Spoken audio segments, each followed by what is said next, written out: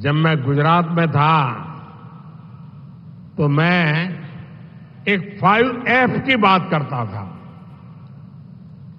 इसका मतलब था, पाँच एफ़ क्या है? मैं, उसका मतलब था, farm farm to fibre fibre to factory factory to fashion fashion to foreign. ऐसे फाइव एफ़ की बात करता था।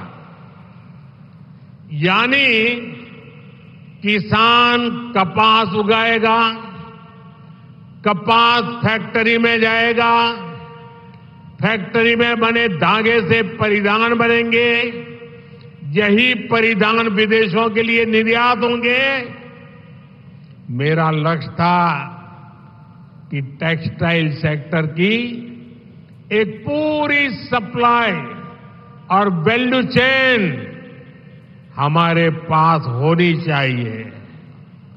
होनी चाहिए ना? होनी चाहिए ना? आज आत्मनिर्भर भारत बनाने के लिए हम ऐसी ही व्यवस्थाओं का निर्माण कर रहे हैं।